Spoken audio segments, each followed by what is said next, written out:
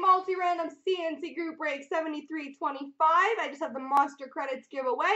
So whoever is on top after three will win the monster credit. Good luck, everybody. One, two, three. Rick Haynes, congratulations.